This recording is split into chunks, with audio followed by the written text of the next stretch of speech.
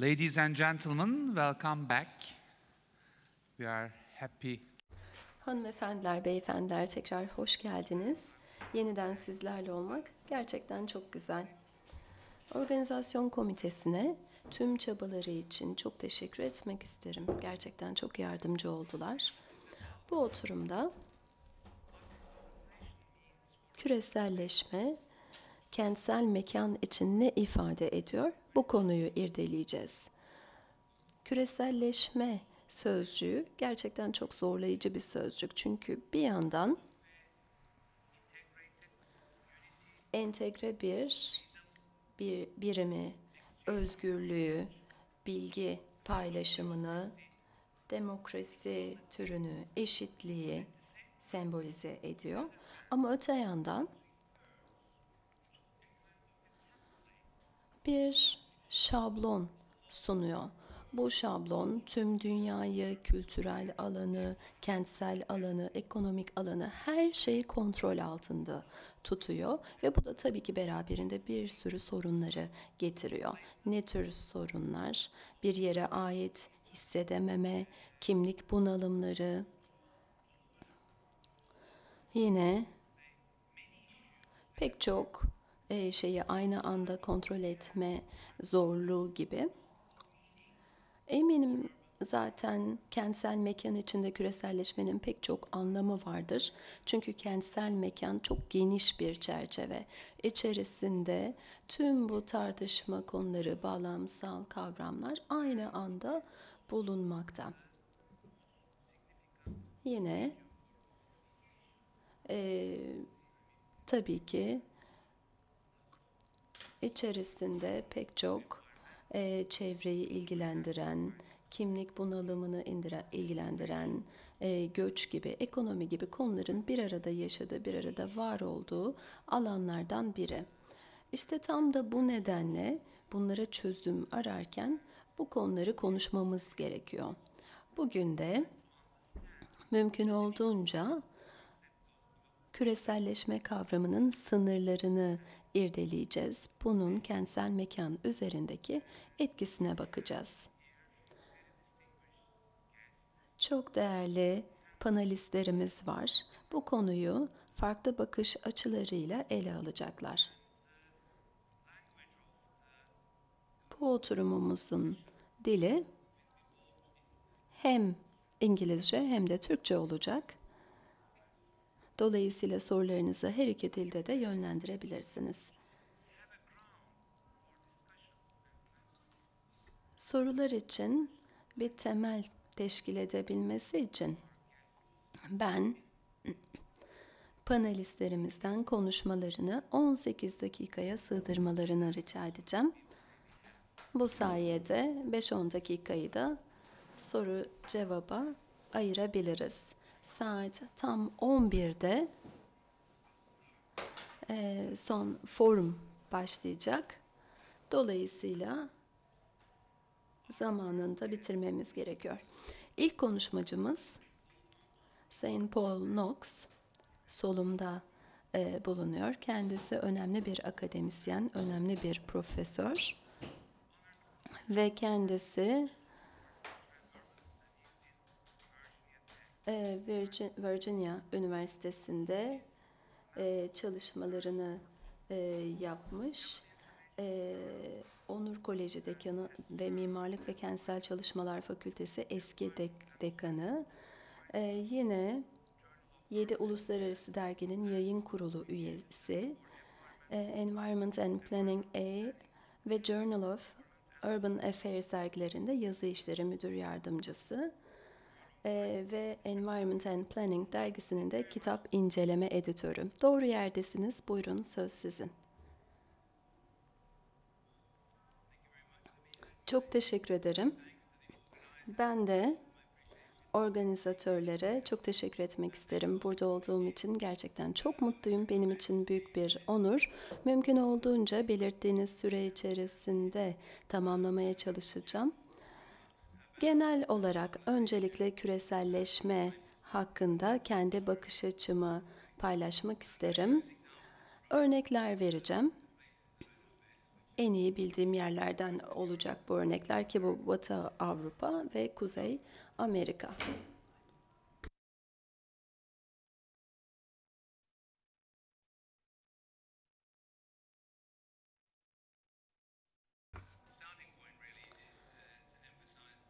Başlarken şunu söylemek isterim. Çok büyük bir e, konuya biz e, kültürel, siyasi, ekonomik e, anlamda bakıyoruz. Dolayısıyla kentsel mekan, mekanı, çevreyi e, bu bakış açısıyla irdelemek istiyorum ben de.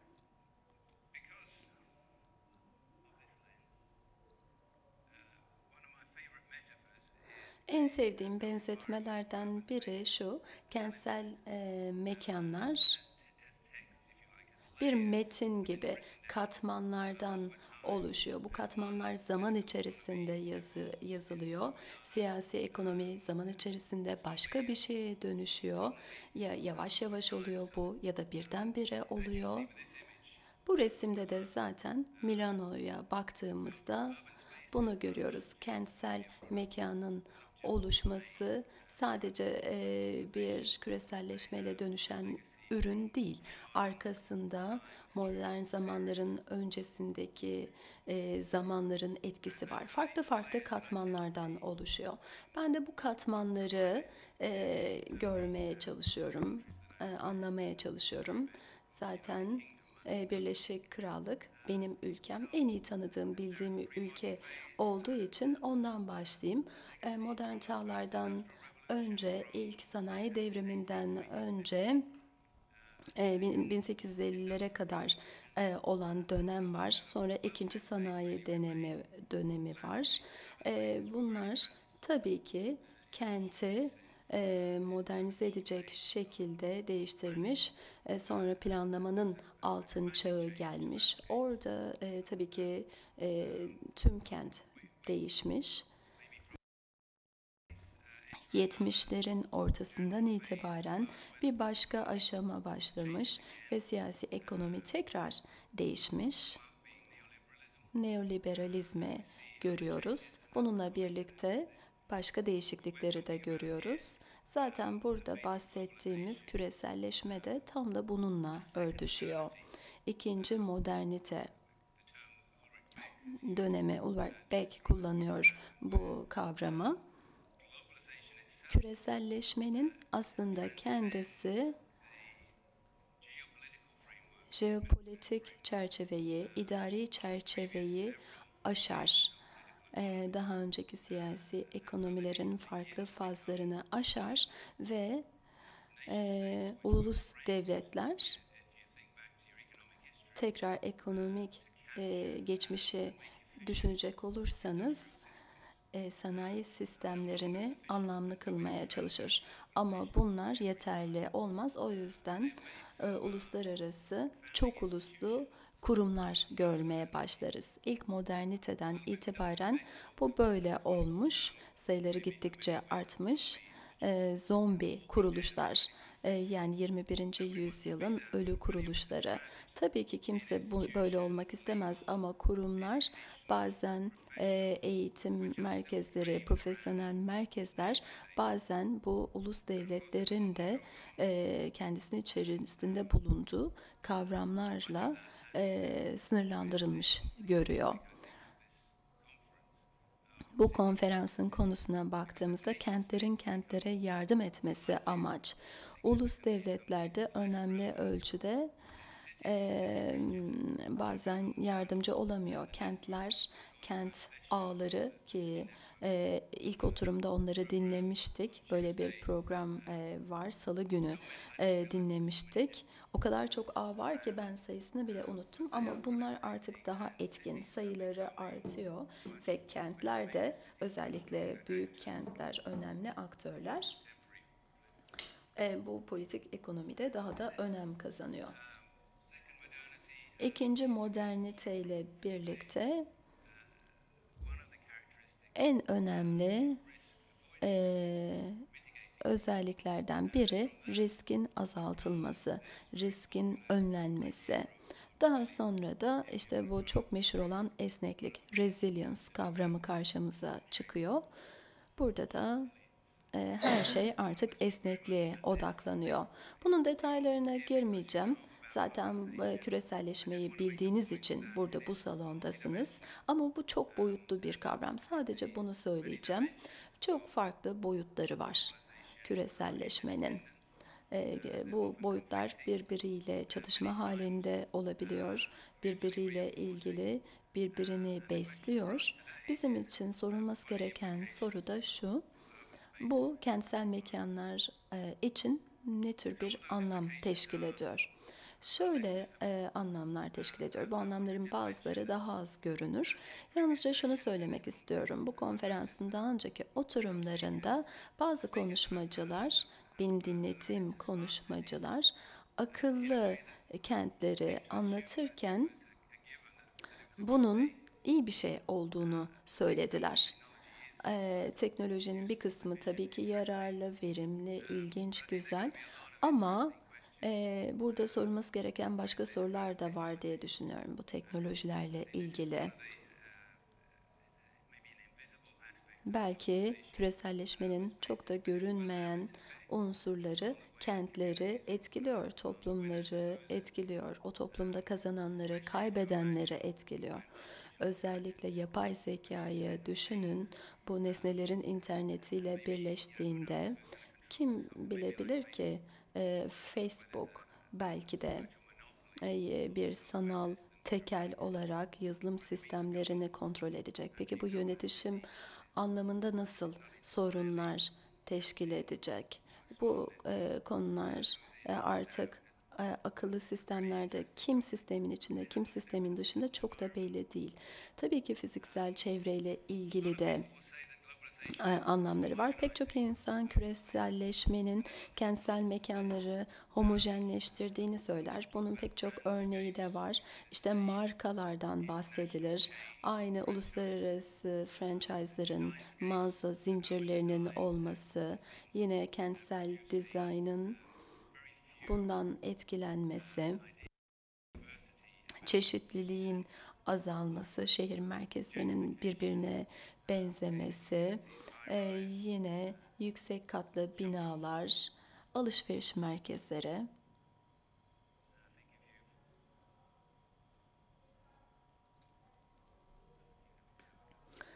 Bununla ilerleyemedim. Sanırım şimdi oldu. E, yani hep her yerde birbirine benzer alışveriş merkezleri.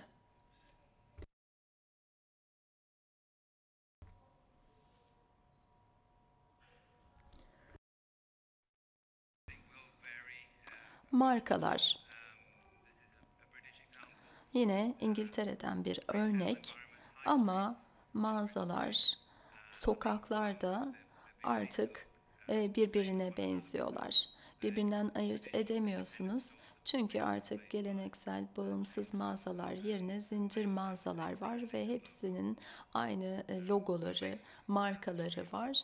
Bu da belli bir düzeyde tabii ki homojenliği getiriyor.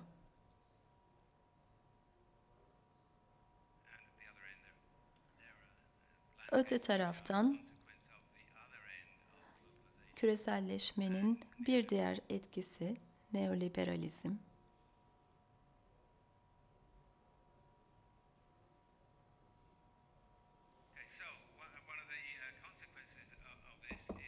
Bunun sonuçlarından biri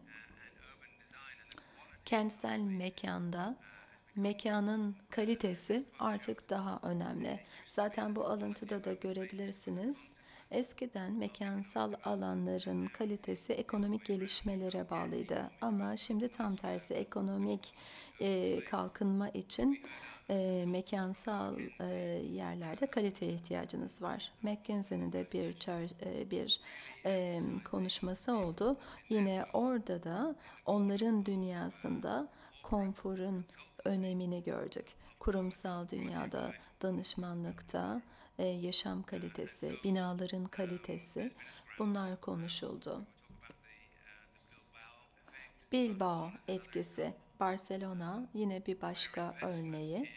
Yatırım e, yine e, elit e, kentsel dizayn.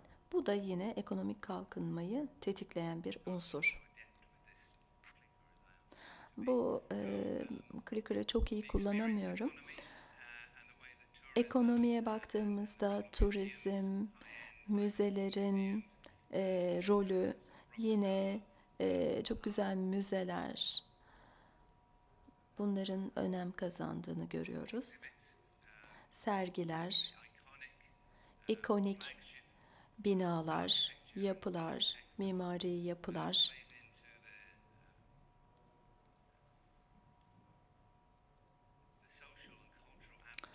sosyal ve kültürel unsurlar.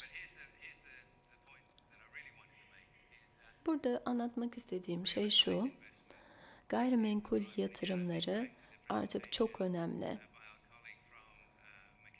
McKinsey'den e, gelen konuşmacı da şöyle söylemişti. Kurumsal yaklaşım planlayıcılara şunu söylüyor. E, gayrimenkul yatırımları yapılsın. E, gayrimenkul yatırımları ile birlikte en iyi binalar, en iyi profesyoneller bir arada olsun. Gayrimenkul e, değeri artık e, tüm dünyadaki gayri e, safi e, hasılanın üç buçuk e, katı. Bunu zaten kentsel mekanlarda görebiliyoruz. Küreselleşmenin bir etkisi. İlerleyemiyorum e, sonunda. Tamam oldu. O yüzden gayrimenkul yatırım firmaları artık e, bizim mutlaka odaklanmamız gereken gruplar. Küreselleşmeyi anlayabilmek için, kentsel mekanları anlayabilmek için, bunun farklı boyutlarını anlayabilmek için onları dinlemeliyiz. Ki onların da konferansları, kongreleri oluyor. Planlayıcılar, e, mimarlar, sosyal politika yapıcıları, e, tabii ki konferanslar düzenliyor. E, belki bir e, politika paylaşımı, fikir paylaşımı da oluyor. Ama aynı şeyi bu söylediğim gruplar da yapıyor. Onların söyledikleri şeyler çok daha önemli diye düşünüyorum. Çünkü yatırım kararlarını alanlar onlar. Bu ne anlama geliyor? Üçüncü kuşak büyüme makineleri diyorum ben onlara. Tekrar literatüre e, bakacak olursak eskiden bu makineler yereldi e, kentseldi, işte e, neler vardı, e, gazeteciler vardı, yerel düzeyde etki e, sahibi olmaya çalışan belediye meclisleri vardı. Daha sonra bu ulusal oldu ama şimdi gayrimenkul yatırımları nedeniyle artık bunun küresel bir boyutu var. O yüzden buna ben üçüncü kuşak diyorum. Bu da üçüncü e, dalga. E, üçüncü e,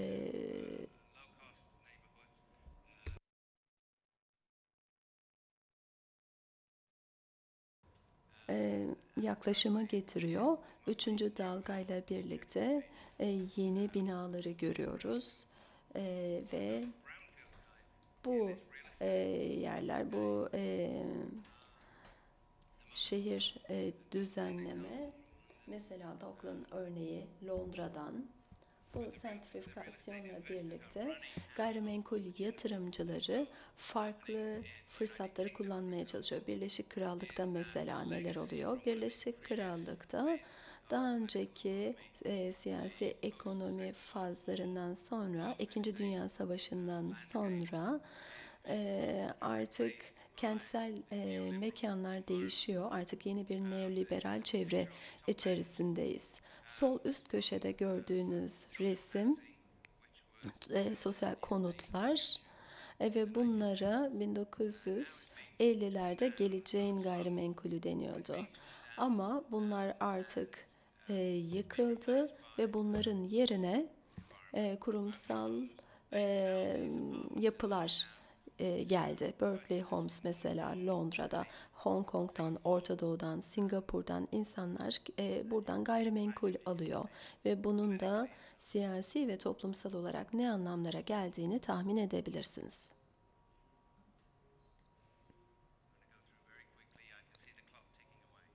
E, çok fazla sürem kalmadı. Şu anda en önemli kavram esneklik, resilience. Esneklik çok önemli. Neden? Çünkü siber güvenlik açısından önemli, iklim değişikliği açısından, terörizm açısından önemli dayanıklılık, resilience. Aynı zamanda kentler için önemli. O yüzden kentler artık kendileri dayanıklı olmak zorunda. Burada e, Rockefeller e, Vakfı,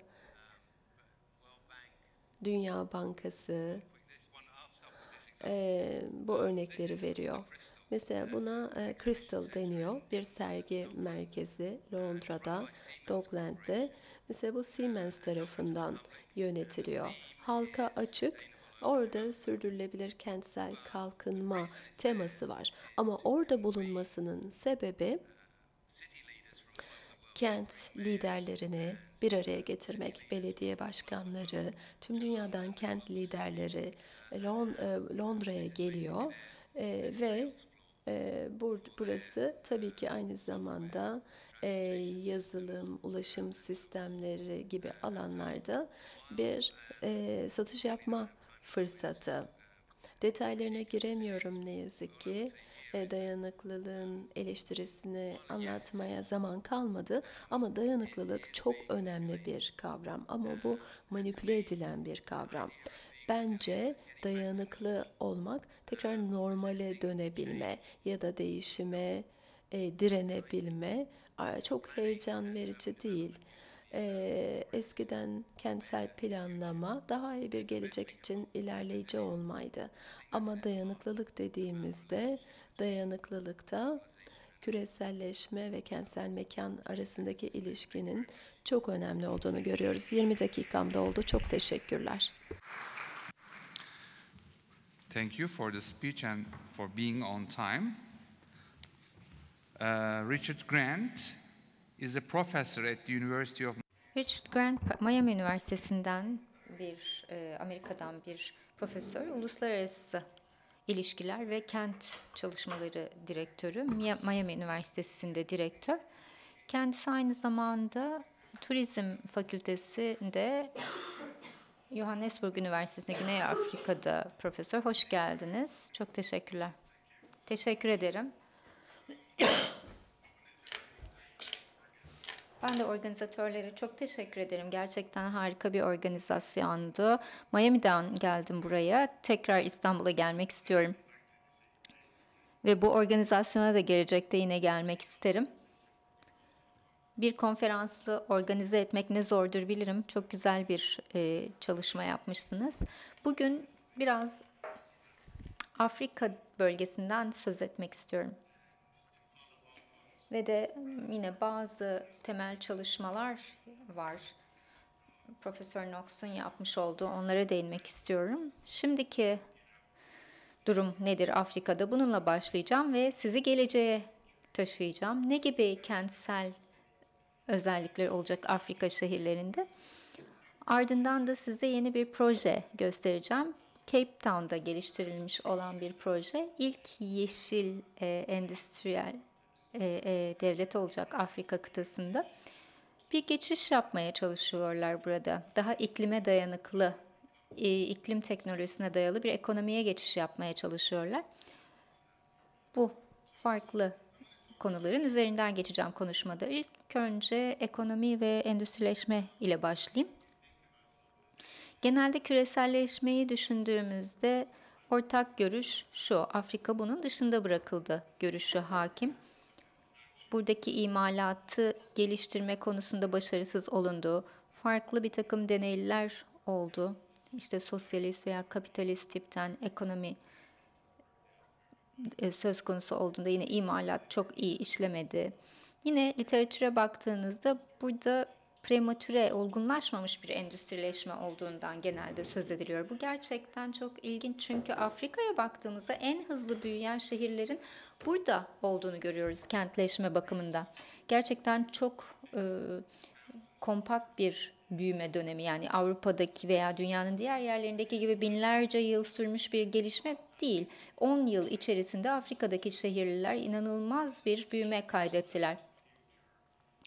Geleceği de düşünmek lazım. Yeni dördüncü endüstri devrimi, robotik, yapay zeka, nesnelerin interneti. Burada ne gibi bir gelecek var? Afrika'da bunlar nasıl orta e, kendini gösterecek?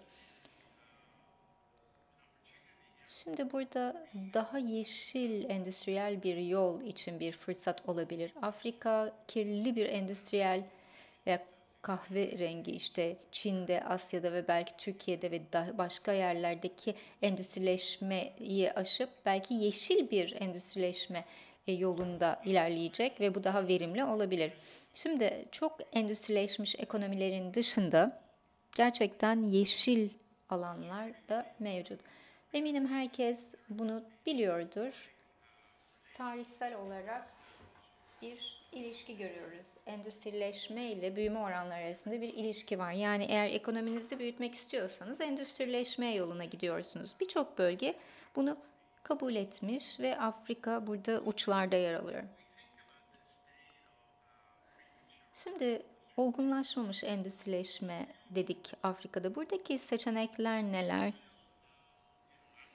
Bir süreliğine Afrika'daki ülkeler Batı'nın e, ve Dünya Bankası'nın çeşitli düşünce kuruluşlarının tavsiyelerini takip ettiler ama bu tarzdan işler çok da olumlu sonuçlar vermedi. Geçtiğimiz 10 yıl içerisinde ne gördük?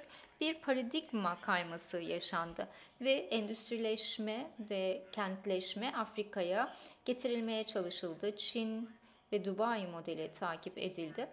Ve genellikle bu çok başarılı olmadı. Birçok Çinli ve Afrikalı epeyzeler pek başarı sağlayamadı. Etiyopya'da yine var. Bunlar çok da bir aslında ekonomik e, manzara bir çentik bile atamadılar. Einstein'ın bir sözü vardı. Her şeyi özetliyor. Delilik sürekli aynı şeyi yapıp farklı sonuçlar beklemektir diyor. Yani bir şekilde farklı bir biçimde düşünmemiz gerekiyor geleceği. Burada ekonomik büyümeyi görüyoruz. Hızlı bir kentleşme var. Alt Sahra Afrikası, işte milyarlık bir nüfus. 10 yıllar içerisinde 2 milyar olacak. Ve buradaki sorular şöyle. Bu bir çeşit işte Çin veya Hindistan'ı 20 e, yıl 30 yıl önceki bu ülkeleri takip eden bir gelişme mi olacak yoksa farklı bir model mi olacak? Evet bunlar e, belki bir 10 yıl öncesindeki fikirlerdi. Yani Afrika şehirleri dramatik bir biçimde dönüşecek. İşte İsviçre'den, Amerika'dan tasarımcılar getirildi, kent tasarımcıları getirildi, neoliberal bir takım fantaziler vardı. Yani birçok web siteleri, birçok dokümanlar bunlar işte çok eleştirildi zaten literatürde de. Bence bunlar bir şekilde dışarıdan e, alınmış, içeriye alınmış fikirlerdi. Şimdi burada e, çeşitlendirme neden önemli? Eminim siz de zaten bunun çok farkındasınız Türkiye bağlamında da bir takım başarı hikayeleri var. Yani çok düşük bir baz düzeyinden başlayan ülkeler var ve daha sonrasında farklı imalat faaliyetlerine çeşitleniyorlar ve gerçekten ekonomilerini büyütebiliyorlar ve de kentsel alanlarını genişletebiliyorlar. Tayvan buna gerçekten çok iyi bir ülke. Çok küçük bir ülke, çok kırılgan bir pozisyonda. Çok gergin ilişkileri var e, Çin anakarayla. Ancak 21. büyük ekonomi dünyada gayri safi yurt içi hasıla anlamında ve de en büyük, en teknolojik olarak gelişmiş şirketlerden bir tanesi. Çok yine e, büyük bir işveren Foxcar gibi Çin'de. Yani burada belli bir takım ülkeler var. Düşük bir profilden başlıyorlar ve dönüştürüyorlar şehirlerini, kentsel alanlarını. Bunu çeşitlendirme, ekonomiyi çeşitlendirme yoluyla yapıyorlar. Şimdi bizim son derece eleştir yani Etiyopya modeline karşı e, eleştirel olmamız lazım. Genellikle Dünya Bankası ve farklı kuruluşlar bunu büyük bir başarı modeli olarak gösteriyor ama Etiyopya çok fazla ucuz kadın ayakkabısı üretti. işte hızlı moda tüketim ürünleri üretti. Çin'deki bir takım fabrikalar Etiyopya'da açıldı ve burası yine karalarla çevrili. Yani burada Etiyopya'dan Cibuti'ye bir hızlı tren var ve de Cibuti'den birçok pazara, Avrupa'ya, işte belki Türkiye'ye ulaşıyorlar. Amerika Birleşik Devletleri'ne ve farklı yerlere. Ancak burada Etiyopya'nın başarı hikayesini okuduğunuz zaman gerçekten çok düşük e, gelirli bir ekonomi, düşük maaşların olduğu bir ekonomi. BBC'de çok ilginç bir podcast var. Aileler artık bu e, giysi sektöründe ödenen ücretlerle geçinemiyorlar. Yani bu çok aslında geçerli bir model değil. Gelişmekte olan ülkelerin tabii ki belli bir üretim yapması tekstil alanında, giysi alanında gerekse bile bu çok geçerli bir model değil. Şimdi şu konuyu düşünmemizi istiyorum. Aynı zamanda küreselleşme ve konusunda bir ilerleme ve bazı anlamlarda geri gitmeler var. Mesela Amerika Birleşik Devletleri'nde Trump yönetimi Amerika'yı yine birinci yapacağız gibi şeyler söylüyor. Ticaret savaşları devam ediyor özellikle de Amerika ile Çin arasında. Yine e, İngiltere'de Brexit dediğimiz efsane var. Bu sürekli devam ediyor da ediyor. Şimdi neredeyse bir nostaljik bir görüş var. Tekrar eskiye dönüş, zafer günlerine geri dönüş, farklı türden bir küresel ekonomi hayali olduğunu görüyoruz nostaljik.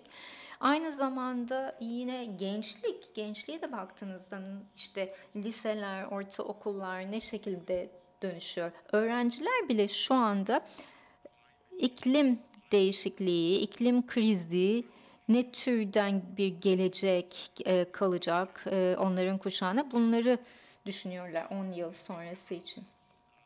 Evet. Peki o zaman ülkeler nasıl adapte olacaklar?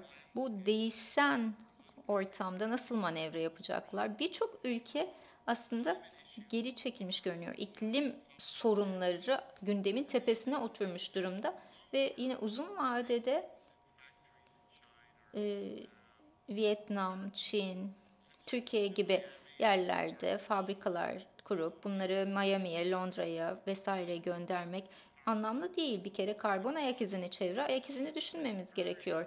Bu erken dönemdeki kentleşmenin bir maliyeti söz konusu. Şimdi Afrika'daki politika yapıcıların endişelendiği bir şey var. Özellikle Afrika gençlerini. Yani robotlar geliyor, işte yapay zeka geliyor deniliyor. Bu gerçekten korkutucu. İklim değişikliğinin olduğu gibi. Aynı zamanda işte Afrika ilk imalat turunda bazı şeyleri kaçırdı. O zaman nasıl hazırlanacaklar? Yani yapay zekaya, yüksek teknolojiye, nesnelerin internetine burada nasıl hazırlanılacak? Şimdi e, ne gibi değişiklikler olacak? İşte robotik, üç boyutlu baskı ve belli ürünler, mesela Adidas birçok üretimini Almanya'ya geri getirdi. Burberry's yine üretimini İngiltere'ye geri getiriyor. Yani e, bazı sektörler imalatta pazara daha yakın hale gelmeye başladılar. Yani burada çok yaygın üretim ağları vardı geçmişte ama şimdi yakınlaşmaya başladılar. Bu senaryoları okuduğunuz zaman biraz tabii korkutucu. Kaç iş kaybolacak? İşte diyorlar ki yüzde seksenden yüzde yüzde ondan yüzde seksene değişebilir. Bazı işler ilk başta hiç e, ortaya çıkmayabilir bile deniliyor. Yani çok farklı bir e, manzaraya bakıyoruz. Burada hemen bir slayda bakalım. Önde gelen oyuncular yapay zekada kimler? Çin özellikle bu anlamda yapay zekayı geliştirmede lider. İmalat anlamında yine Amerika Birleşik Devletleri, Batı Avrupa. Yine bazı sektörler var. Sektörler arasında homojen değil ama mesela otomotiv sektöründe çok fazla uygulama var. Yapay zeka uygulaması, robotik uygulaması. Yani giysi, tekstil bu çok düşük düzeyde otomatize, iş gücüne dayalı. Bu daha önemli görünüyor. Yani çok da eşit dağılımlı değil sektörler arasında. Bunu da tabii düşünmemiz gerekiyor gelecek açısından. Bu büyük süreçler, e, geliştirmekte olan süreçler bütün sektörlerde, bütün imalat alanlarında veya ekonomik alanlarda aynı olmayacak.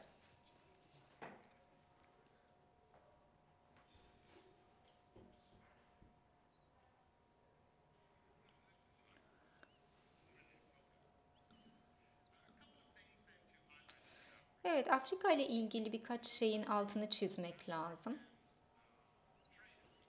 Bir Afrika ticaret anlaşması imzalandı. Yine Alt Sahra Afrika'sındaki birçok ülkeleri barındırıyor. Bu içine alıyor.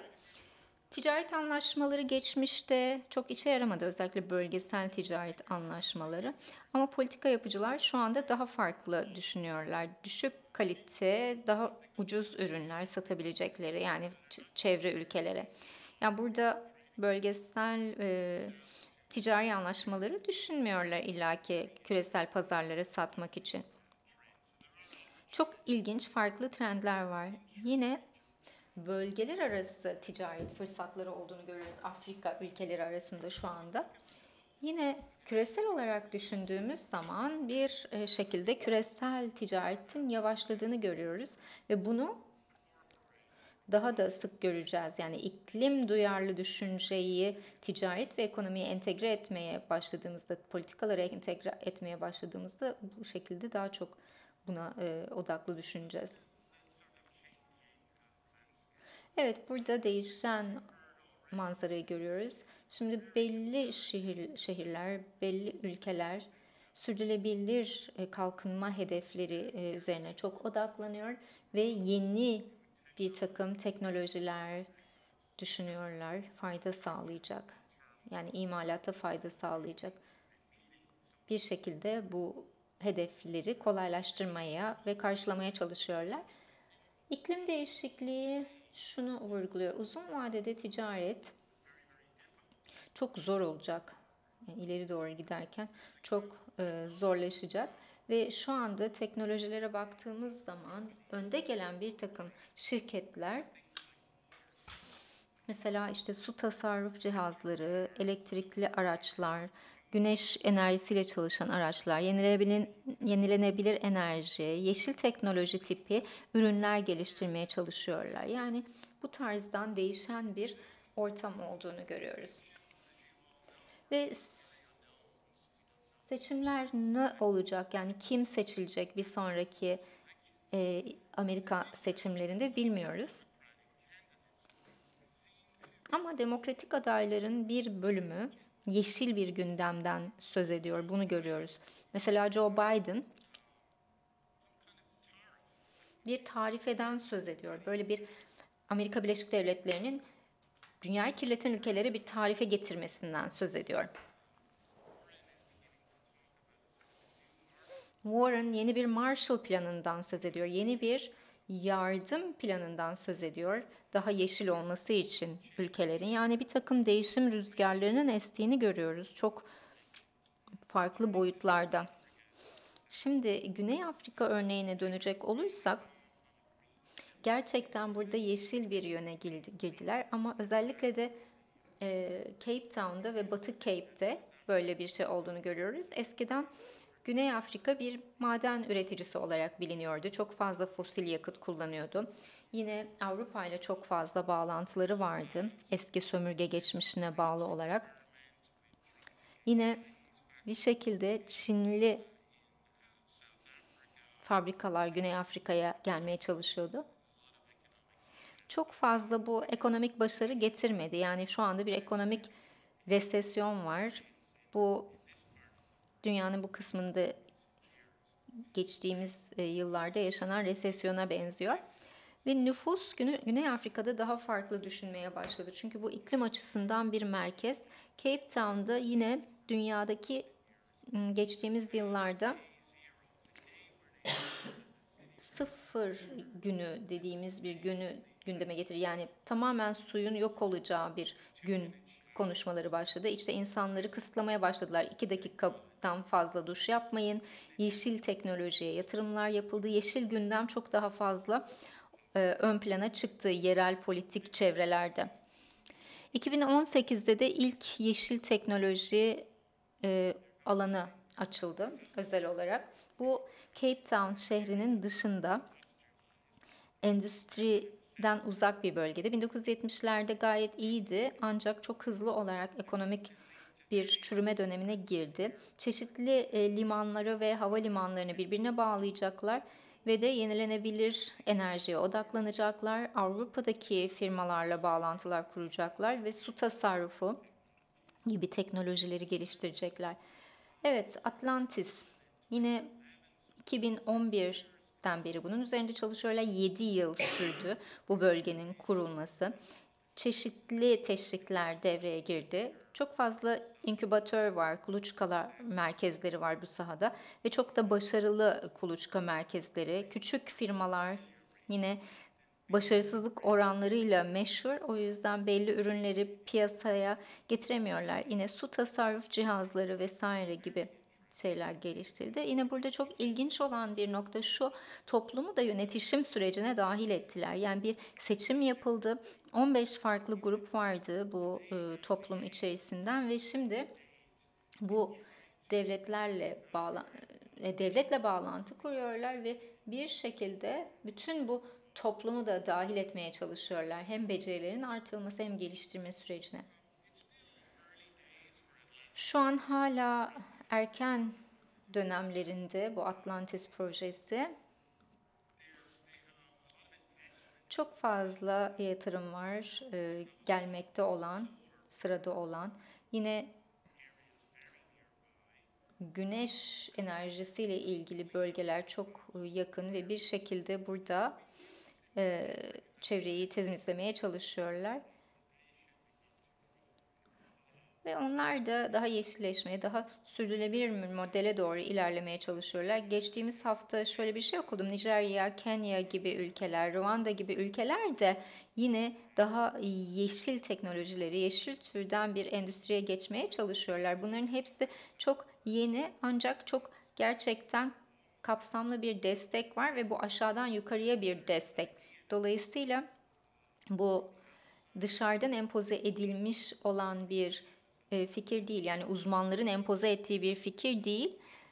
Belli bir takım fiyatlar özellikle Güney Afrika, özür dilerim krizler, krizler oldu, su krizleri oldu ve korku başladı. Eğer ki bir şeyi farklı yapmazsak suyumuz kuruyacak veya küresel ekonomik problemlerimiz çok daha fazla artacak diye. Evet, son slaytta bir takım son düşüncelerle ve temel hedeflerle sizi bırakmak istiyorum. Teknoloji her zaman riskli. Her zaman çok hızlı bir değişim. Her zaman bir yıkıcı, e, ezber bozucu tarafı var. Belediyeler ve şehirler sadece şu anı düşünmemeleri, daha vizyoner olmalı, daha ileriyi düşünebilmeli. Ve yeşil ekonomi sadece imalatla ilgili değil, yerel tarımla da bağlantılı olabilir, yenilenebilir enerjiyle de bağlantılı olabilir ve yine yerel ekonomiyi e, kat kat güçlendirebilir. Dolayısıyla bunu bu tarzdan e, yeşil endüstriye dayalı şehirleri gelecekte daha çok göreceğimizi düşünüyorum. Ve burada konuşmamı sonlandırıyorum. Teşekkür ederim. Thank you very much. Bir sonraki konuşmacımız Fuat Keyman.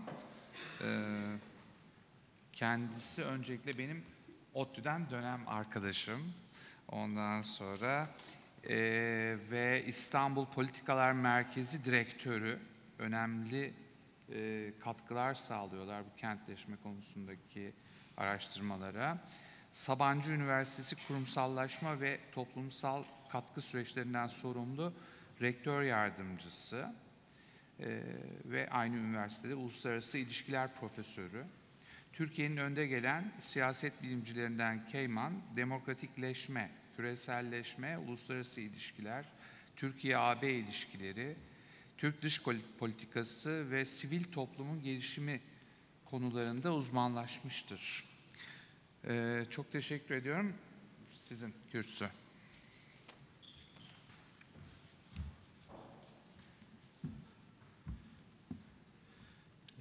Thank you very much, Abdi. Back to Çok teşekkürler Abdi. Tekrar ODTÜ e, günlerime döndüm. Çok güzel oldu. Ben öncelikle organizasyon komitesine davetleri için teşekkür ederim. Şunu da belirtmek isterim. Burada bu uzmanlarla, profesörlerle birlikte olmak, kenti, kentleşmeyi konuşmak gerçekten bir onur. Kent planlayıcısı veya mimar olmayan tek konuşmacı da benim sanıyorum. Uluslararası ilişkiler, siyaset benim uzmanlık alanım. 20 yıl önce Peter Berger tarafından Boston Üniversitesi'ne, sonra Harvard Üniversitesi'ne davet edilmiştim. Bir araştırma yapıyorlardı. Çoklu küreselleşme nedir kavramı ile ilgili Türkiye'de oradaydı. Ben de Türkiye'deki hatta araştırmayı yönettim Sayın Budun'la birlikte. E, ve Anadolu'da, Anadolu'daki şehirlerde kentselleşmeye baktık. Bu da benim akademik kariyerimi e, değiştirdi. Son 20 yıldır e, Anadolu'daki şehirlerde kentleşme konusunu çalışıyorum. Artık e, e, kırsal alanlar nasıl kentselleşti, bu demokrasi anlamında, uluslararası ilişkiler anlamında ne anlama geliyor? Bunlara bakıyorum. Şimdi Türkçe konuşmaya başlayacağım. Çünkü ben e, Türk'üm, Türkiye'deyiz. Türkiye'den pek çok katılımcı var. Dilerseniz sorularınız olursa soru cevap bölümünde e, sorularınıza İngilizce cevap verebilirim dilerseniz. Ama sunumuma Türkçe devam etmek isterim. Hepimizin bildiği gibi e, özellikle son e, 20 yıldır e, küreselleşen bir dünyada yaşıyoruz ve küreselleşme üzerine çeşitli çalışmalar olmakla birlikte birkaç konuda bir ortaklık var. Bunlardan bir tanesi küreselleşen dünya birbirine çok bağlı hatta hiper connected denen hiper bir şekilde bağımlı bir bir bir bir bir dünya. İlk önce potansiyellerle başlayan bir küreselleşme süreci ama ee, özellikle 2000'li yıllardan bugüne son son son 20 yıldır 2001 11 Eylül krizi, 2008 dünya ekonomik kriziyle birlikte ciddi anlamda e, bir türbülans yaşayan dünya, e, ciddi anlamda kriz yaşayan dünya, risklerin, potansiyellerin önüne geçtiği bir dünya. Hatta genel kanı e, yaşadığımız küreselleşen dünya tek değil çoklu krizler içinde. Güvenlik alanında ciddi krizler var. Ekonomi alanında ciddi krizler var. iklim değişikliği alanında ciddi krizler var. Bir de tabii hepimizi ilgilen, ilgilendiren e, fakirlikten işsizliğe, ötekileşmeye, şiddete dönük olarak da bir anlamda, kültürel anlamda da yahut da ontolojik anlamda da ciddi krizler içindeyiz. O yüzden de e, küreselleşme ve kentleşme ilişkisi düşündüğümüz zaman bir taraftan küreselleşmenin e, hiper connected bir dünya yarattığını fakat bu dünyanın çok riskli, krize açık, türbülans içinde çok e, boyutlu bir krizi yaşadığını e, söylememiz gerekiyor. İkinci nokta küreselleşme ile ilgili benim de katıldığım projelerde e, de önerildiği gibi e, küreselleşen dünya giderek kentleşen bir e, dünya oluyor ve yaklaşık 2030 yılları içinde küreselleşmenin tamamıyla kentleşme olarak çalışılması gerekli saptaması yapılıyor. E, globalization as urbanization dediğimiz e, saptama esasında giderek e, önümüzde oluyor. O yüzden de zaten küreselleşme ile kentleşme arasında birebir bir hem zamansal hem mekansal ilişki ilişki var. Üçüncü olarak bütün bu küreselleşmenin ürettiği riskleri, küreselleşmenin yarattığı güvenlikten ekonomiye, ekonomiden ontolojiye, krizlere baktığımız zaman bu krizlerin, bu risklerin yaşandığı yerinde kentler olduğunu görüyoruz. Esasında biz ulus devletler temelinde, ülkeler temelinde bunu tartışıyoruz ama yaşanmışlık temelinde esasında küreselleşmenin çokluk krizi, küreselleşmenin kentleşmesi demek esasında krizin kentte, mekan olarak kentte yaşanması anlamına anlamına geliyor. Bu krizler ekonomiden ontolojiye kadar kentin yaşanabilirliğini çok ciddi anlamda etkiliyor. Bir taraftan bir gentrification var, öbür taraftan büyük bir dışlanma yaşanıyor kentlerde. İkincisi kentler kentleri neoliberalleşmeyle insan arasında karşı karşıya getiriyor. Neoliberalleşmenin çok istediği bir şey esasında küreselleşmenin kentleşme olarak yaşanması. Ama öbür taraftan da neoliberalleşme krize girdikçe bu kente çok ciddi anlamda olumsuz olarak etki ediyor. Üçüncü olarak da kentlerin e, yaşanabilirliği ve girişimciliğinin yanında üçüncü önemli boyutu yani birlikte yaşama, farklılıkların birlikte yaşama boyutunda da insan haklarından ötekileştirmelere kadar kentlerde çok ciddi sorunlar olduğunu görüyoruz. Kentler bu süreçleri birebir yaşayan yaşayan mekan, mekanlar. E, böyle olduğu böyle olduğu için de e, esasında kenti sermaye ile mekanın bir müzakeresi olarak e, yani capital'la space'in bir negotiation'ı bir bir bir müzakeresi olarak gördüğüm gördüğümüz zaman esaslı bu anlamda kentlerin yaşanabilirliği, kentlerin ekonomik anlamda dönüşümü ve kentlerin birlikte yaşamaya dönük süreçlerle birlikteliğine bağlı olarak esasında bir taraftan kentleştirilen bir küreselleşme var ama öbür taraftan da yönetimi çok zor olan e, bir bir bir süreçten bir süreçten e, bahsediyoruz.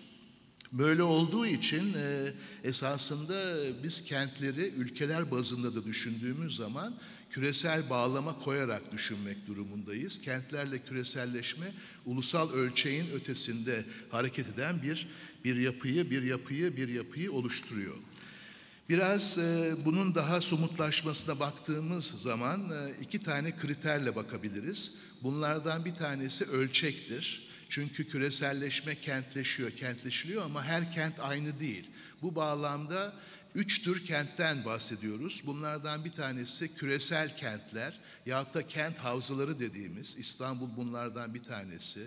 New York gibi, Los Angeles, San, Francisco gibi, Beijing, Şanghay gibi sadece tek kent değil, kentin başladığı yerle bittiği yerin bir olmadığı büyük bir ekonomik zonu yarattığı, yarattığı bir bir kentler var. Bu kentlerin bazıları bazı ülkelerin ekonomilerinden çok daha gelişmiş durumda.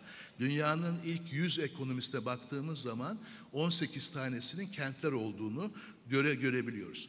İkincisi e, İstanbul gibi global anlamda urban zone yapan yani kent havzaları yaratan e, kentlerin yanı sıra ölçeği biraz daha küçük olan fakat ülke ekonomilerine, etraflarına çok e, katkı veren kentler var. Buna kentleşme literatüründe e, city region, kent bölge deniyor. Bu tür bu tür kentler esasında e, hem kendilerine hem etraflarına çok etki ediyorlar. Hem de bu bağlamda o ülkelerin hem yaşanabilirliği bağlamında hem hem e, ekonomik gelişmesi bağlamında hem de birlikte yaşaması bağlamında önemli oluyorlar. Tabii onun yanında da kendileriyle gidebilen kentlerimiz var. Kendilerini insan hakları kentleri olarak, insan kentleri olarak, pazar kentler olarak e, olarak e, e, sunan kentler var. Bu dönem bu, bu, bu bağlamda son dönemlerde okuduğum Kopenhag'la Houston'u karşılaştıran People Kent, City Market Kent gibi farklılaşmalar da literatüre girmiş durumda. Tabii bunun yanı sıra arkadaşlarımızın benden önceki iki konuşmanın da vurgulamış olduğu bu kentsel dönüşümle birlikte kentin yönetimi de kentin ne şekilde yönetileceği de çok önemli olduğu için bu bağlamda da yeni kavramların ortaya çıktığını görüyoruz. E, örneğin e, neoliberal yaklaşımdan gelen akıllı kent e, bu burada önemli olan ve ilgi çekiyor. İkincisi Dünya Bankası'nın çalışmalarına baktığımız zaman onlar kapsayıcı kenti kullanıyorlar. Yani pazar kentleriyle insan kentlerini birleştiren inclusive cities dediğimiz. Üçüncüsü benim de dahil olduğum Barcelona Belediyesi tarafından başlatılan kentleri daha demokratik, daha kapsayıcı yapan fakat bunu, bunu yaparken içerisine dışarısına metotlarında da karşı çıkan wise cities dediğimiz bizim Türkçe'de erdemli kentler, adil kentler dediğimiz kent kentler var. Bunun yanı sıra son dönemde hem Türkiye'de hem Avrupa'da hem de dünyada mülteci akımları, göçmen akımları çok fazla olduğu için özellikle mülteci krize dönük olarak kentlerin bir araya geldiğini, ağlar kurduğunu görüyoruz. Örneğin Barcelona'nın başlattığı, Berlin'in içinde olduğu, bizim şimdi Gaziantep'i sokmak istediğimiz Solidarity City dediğimiz dayanışma kentleri gibi şey, kavramlar var. Bir de son olarak şimdi İzmir'le biraz düşünülüyor. Viyana kendisini biraz böyle sunuyor. İnsan hakları kentleri de dediğimiz bu dışarısama içerisine metotlarına karşı çıkan kent belediyeleri, belediyeleri de var. Bu tür kavramların yanı sıra e, kentlerin bu kadar önemli olması bağlamında birkaç tane de önemli proje götürülüyor. Bunlardan bir tanesi e, bizim de İstanbul Politler Merkezi olarak Türkiye'ye bakışa sokmak istediğimiz yeni yerellik dediğimiz kentlerin e, ülkelerden önce gelmesi yani ülkelerin kentlerinden kentlerin ülkesine bakmak Türkiye bağlamında e, Türkiye'nin kentlerinden kentlerin Türkiye'sine gibi bir bir bir epistemolojik ve metodolojik e, kayma kayma yaratmak. Yeni yerelliği bu şekilde düşünmek. Özellikle popülizmin, özellikle otoriterleşmenin, özellikle liderlere bağlı yönetimlerin arttığı zamanlarda yani yürütmeye dayalı e, merkeziyetçi bir yönetim ortaya çıktığı zaman da yerelliği nasıl koruyacağız, kentlerin yönetimini nasıl ön plana çıkacağız dediğimiz e, bir bir çalışma. Buna benzer olarak Avrupa'da benim de katıldığım yeni belediyecilik denen e, biraz evvel söylemiş olduğum kavramları bir araya getiren akımlar akımlar da akımlar da var. Böyle gördüğümüz zaman e, şu sonuca varıyoruz. E, konuşmamın büyük kısmını burada bitiriyorum. Hem küreselleşmenin kentleştiğini görüyoruz. Hem kentleşmeyle birlikte kentlerin küreselleşmenin krizi, küreselleşmenin risklerini yaşayan temel mekan olduğunu görüyoruz hem de kentlerin yönetiminin çok ciddi anlamda e, karmaşıklaştığını görüyoruz. Örneğin Ulrich Berk'in dediği second modernity ya da ikinci modernite kentler bir taraftan öne çıkıyor ama bizim kenti yeniden nasıl yönetilmesiyle ilgili yeni bir paradigmaya, yeni bir modele ihtiyaç var. Sadece dünyada değil Türkiye'de bu tür bu tür çalışmalar yapılıyor.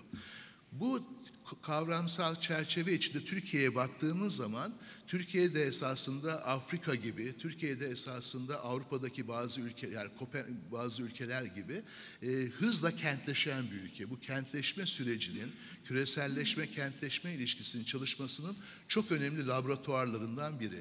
1950'lerden sonra başlayan kentleşme süreci özellikle son 20 yılda çok hızlanıyor ve Türkiye bugün %72, %73 oranında kentli bir ülke.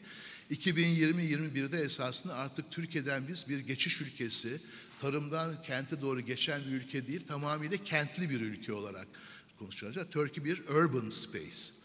İkincisi e, Türkiye bu kentleşmesini komparatif baktığımız zaman Hindistan'la Brezilya, Rusya, Çin ve Latin Amerika ülkeleriyle karşılaştırdığımız zaman ve Güney Afrika ile karşılaştırdığımız zaman Şerif Mardin'in ya da sosyolojide kullanılan center periphery modelinde yani merkez çevre modelinde çevreden başlayarak yapan bir şey. Esasında son 20 yılda Türkiye'nin kentleşmesi, kentli Türkiye merkezden daha çok çevrenin kentleşmesiyle olan bir şey. Bütün Anadolu'ya bugün gittiğiniz zaman artık geçiş değil, kentli bir Anadolu olduğunu olduğunu görüyoruz.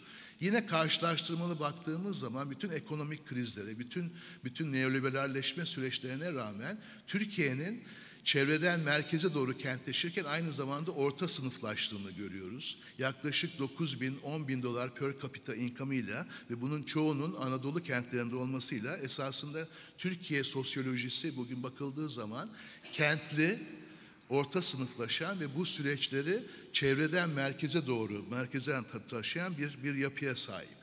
Böyle olduğu için Türkiye'ye kentli bir e, sosyoloji içinde baktığımız baktığımız zaman biraz evvel yapmış olduğum e, teorik açılımda birkaç tane kavramı Türkiye için kullanabiliyoruz. Bunlardan bir tanesi Türkiye Niye? Türkiye'nin kentleri değil de kentlerin Türkiye'sinden konuştuğumuz zaman önümüzde İstanbul gibi bir küresel kent var ta Tekirdağ'dan başlayan Bursalara kadar giden bütün bu havzayı içeren, nerede başladığı, nerede bittiği belli olmayan, Türkiye ekonomisine yüzde 40 küsürlerde katkı veren bir anlamda e, Türkiye'nin merkezi haline gelmiş ve Türkiye'nin hem tarihiyle hem küreselleşmesiyle dünya ile bağlantısını kuran bir bir kent. O yüzden de e, Türkiye'ye baktığımız zaman İstanbul'u küresel kent olarak, bir kent havzası olarak, küresel bir kent havzası olarak çalışmakta yarar olduğunu görüyoruz. O yüzden de İstanbul'u anlamadan Türkiye'yi anlamak pek mümkün olmuyor. Bununla birlikte bence daha önemli olan biraz evvel bahsetmiş olduğum küresel kent kadar ölçeği değil fakat ondan biraz daha az ölçekli fakat Türkiye'nin katkı veren Anadolu'dan yani çevreden merkeze doğru kentleşmenin simgeleştirdiği kent bölgeler var. Çağlar Keyder'le Ayşe Kösef, Fırat Genç ve ben e, son dönemlerde kent bölge temelinde Türkiye'yi çalışmaya başlıyoruz. İlk önce 12 kent temelinde çalıştık. Şimdi 4 kent İzmir, Konya, Konya, Van, Van ve Adana Mersin olarak çalıştık. Esasında Türkiye'nin kentlerinden kentlerin Türkiye'sine geçişin en önemli bence e, referans noktalarından bir tanesi kent bölge kavramı. Çünkü bu kentler sadece kendileri için değil, bölgeleri temelinde de çok önemli oluyorlar. Bölgesel gelişmeye e, katkı veriyorlar ve Türkiye'ye bu anlamda çok önemli katkı veriyorlar. Örneğin bu kentler içinde en potansiyelli olan Hamburg gibi, Rotterdam gibi Türkiye'nin kent bölgesi İzmir'e baktığımız zaman bugün İzmir'i Manisa'dan ayırmak mümkün değil. İzmir'i Bergama'dan ayırmak mümkün değil. Artık İzmir sadece kendisi değil aynı zamanda bütün bölgesini de ilgilendiren bir kent bölge haline geliyor. Diyarbakır'a baktığımız zaman Diyarbakır, Batman, Mardin bu şekilde bu şekilde gidiyor. Gaziantep'e baktığımız zaman Gaziantep, Urfa, Adıyaman bu şekilde gidiyor. O yüzden Türkiye esasında laboratuvar olarak kent bölge kavramı temelinde bakılması gerekiyor. Üçüncüsü ve son olarak Türkiye'nin laboratuvar olmasının ve kentlerin yönetiminin önemi olması ve kentin yönetiminin ile ilgili yeni paradigma arayışlarımızın gerekliliğini e, gösteren Türkiye'nin bu son özellikle 5 yılda geçmiş olduğu dönüşümün sonucunda Türkiye'nin aşırı merkezileştiği, Türkiye'nin yönetim olarak aşırı anlamda merkezden kente doğru gittiği, kentlerin bu dinamiğini anlamadığı ve kentleri merkezden yönetme çabasında olduğu bir ülke olarak da görüyoruz. O yüzden sosyolojik anlamda kentlerin önemli olması o kentlerin katkı vermesinin önünün açılması anlamına gelmiyor. Türkiye son 20 yıldaki kentleşmesi de esasında kentlerden merkeze doğru e, bir şekilde evinim gösterirken bu son beş yılda merkezin kentleri yönetmek, merkezin kentleri kendi içine almak gibi bir bir yönetim anlayışına sahip oluyor. Böyle olunca esaslı bir taraftan küreselleşme, kentleşme e, dinamiğinde e, Türkiye'nin kentleri bir taraftan neoliberal küreselleşmenin sorunlarını yaşıyorlar. Öbür taraftan merkezileşme ile birlikte önleri açılmaktan ziyade kapanıyor. Bizim yaptığımız araştırmada esasında ilginç olarak bu merkezileşmeye e, seçimlerde oy verme patternlarına bağlı olarak hükümete yakın olan kentler de bu sorunu yaşıyorlar. Hükümete uzak, uzak olan kentler de bu sorunu yaşıyorlar. O yüzden örneğin e, İstanbul, İzmir, Ankara ile Konya, Kayseri arasında çok bir fark yok. Örneğin e, muhalefet partilerinin kazanmış olduğu belediyeleri bu İstanbul, İzmir, Ankara ile e, diyelim ki Van, Diyarbakır gibi kentler arasında çok fazla bir bir fark olmadığını görüyoruz. Ama son kertede e, önermek istediğim esasında dünyanın ve Türkiye'nin e, kentler temelinde bir geleceğe doğru gittiğini görebiliyoruz. Sosyolojik olarak, demografik olarak. Kentlerin yönetimi e, Türkiye Türkiye'nin ya da dünyanın yönetiminin Türkiye bağlamında Türkiye'nin yönetimi, dünya bağlamında küreselleşmenin governance'ı, global governance dediğimiz şeyde kent giderek ön plana, ön, giderek ön plana, ön plana çıkıyor ve kenti yönetemeyen, kenti dönüştüremeyen, kenti e, daha kapsayıcı, inclusive, daha erdemli, e, wise e, ve daha e, demokratik yönetemeyen ülkelerde e, giderekten içine içine kapanma e, gözüküyor. Milliyetçiliğin arttığını görüyoruz. Buna karşın kentlerini iyi yöneten ülkeler esasında istersek dördüncü sanayi devrimi diyelim, istersek küreselleşmenin bundan sonraki evinimleri diyelim, kendisini hem küreselleşmeye hem de kendi içindeki e, pozisyonuna daha iyi hazırlıyorlar. O yüzden e, kentin belirleyici olduğu bir e, dönemden geçiyoruz. Kentlerin iyi yönetiminin yeni bir soru olduğu bir dönemden geçiyoruz ve kentin yönetimiyle ilgili paradigmalar bugün sadece e, urban planning ve architecture değil aynı zamanda siyaset bilimi, sosyoloji ve uluslararası ilişkilerin de ana araştırma konularından biri oluyor.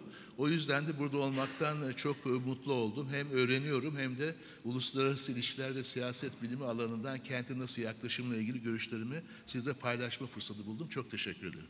Evet. Biz de çok teşekkür ediyoruz. Ee, Nihal Pereira is professor of urban planning Kendisi Ball State Üniversitesi'nde profesör. iki kez Fulbright bursu almış. Aynı zamanda Singapur Ulusal Üniversitesi'nde araştırmacı olarak çalışmış.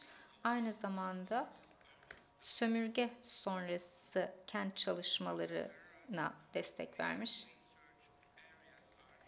Temel alanları topluluk, sosyal adalet, kantitatif yöntemler ve de mekanın sosyal üretimi. Çok teşekkürler. Organizatörlere de çok teşekkür ederim. Gerçekten harika. Arkadaşım Doktor Ceylan Öner'e de yine beni davet ettiği için teşekkür ederim. Konuşmacılara da çok teşekkürler. Gerçekten küreselleşmenin kontürlerini belirlediler ve Profesör Fuat her şeyi karmaşık hale getirdi. Kompleks taraflarını ortaya koydu. Şimdi ben daha da karmaşık bir hale getirmeye çalışayım. Bu slaytların herhangi birini okumayacağım. Sadece size destek olması için. Ben biraz basitleştirmeye çalışacağım bu hikayeyi.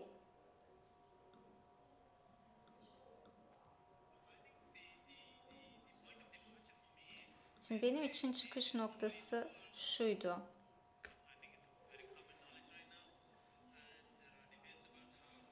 Takım tartışmalar var.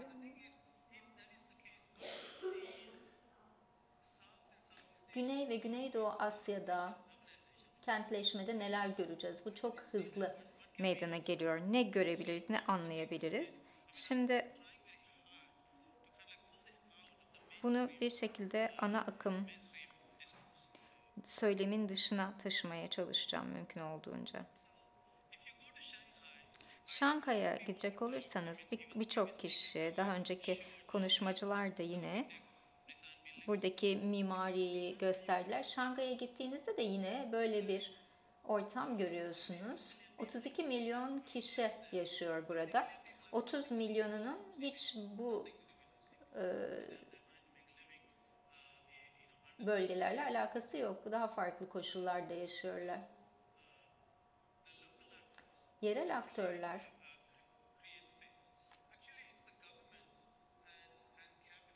buradakiler ve de hükümetler soyut bir takım mekanlar, yollar, kamu alanları oluşturuyorlar ve insanlar bunları kullanıyor. Yani insanlar bu mekanları oluşturuyor. Başkent veya hükümetler değil her zaman. Şimdi bu anlayışın dışarıdan e, bu, bu anlayışın güzel bir örneğini görüyoruz. Üstteki bir köprü. Katmandu'da bir köprü. Alttaki de birinin inşa ettiği muhteşem bir köprü. Modern mimariyle inşa edilmiş. Ama Kimse onu görmüyor. Herkes üsttekini görüyor. Çünkü üst, e, bir yerden diğerine gitmiyor bir köprü. Yani biz bu altyapıyla ilgili fotoğraflar falan çekebiliriz ama nüfusa hizmet etmiyor şehirlerin nüfusuna yapılan şeyler. Sağ tarafta da yine bir fotoğraf görüyoruz. Tsunami sonrasında STK'lar tekneler vermiş yardım olsun diye. Neden denize geri dönmüyorsunuz diye sordum insanlara. Tekneleriniz var. Biz bu tekneleri kullanmadık ki bilmiyoruz dediler. Dışarıdan gelen kişiler çok harika bir iş yaptıklarını düşünüyorlar bu insanlara tekne vererek ama o kadar çok farklı türde balıklar, balık tutma biçimleri, denizler var ki eğer siz o insanları, o halkı tanımıyorsanız, o ortamı bilmiyorsanız onlara verdiğiniz şeyler fayda sağlamıyor. Evet, burada bir örnek görüyoruz.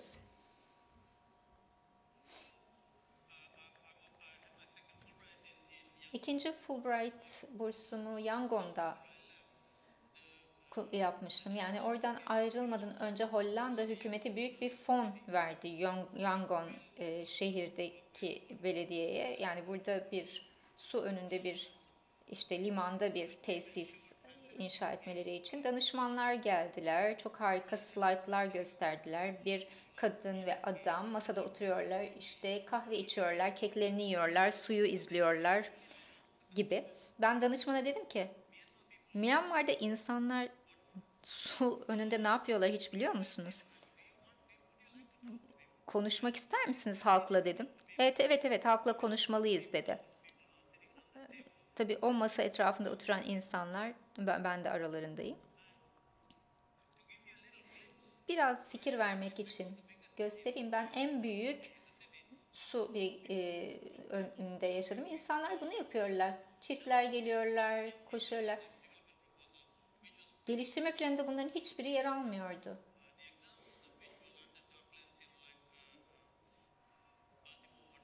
İşte Baltimore vesaire oradaki örnekler kullanılmıştı ve buranın gerçeğiyle hiç örtüşmüyordu.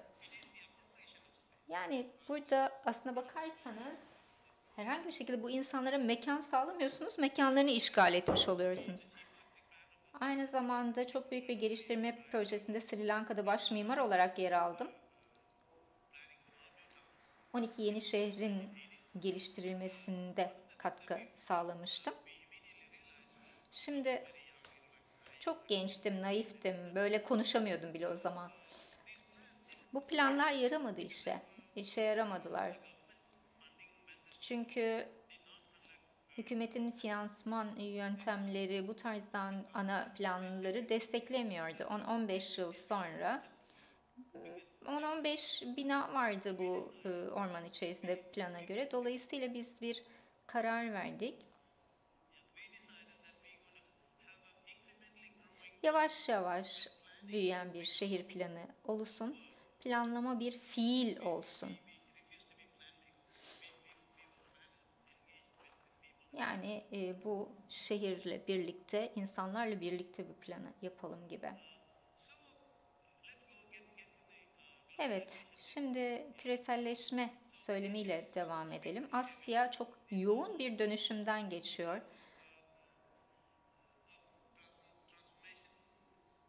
CBD tipi bir dönüşüm var burada.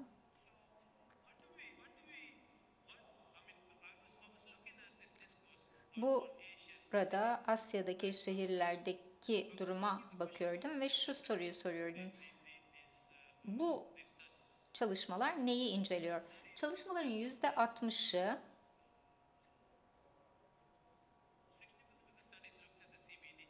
CBD'ye bakıyor.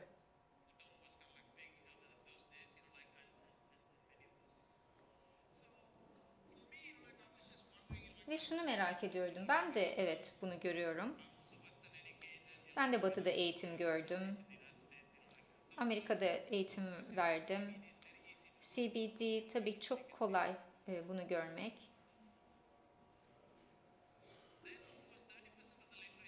Literatürün %30'u gece kondu bölgeleriyle ilgili.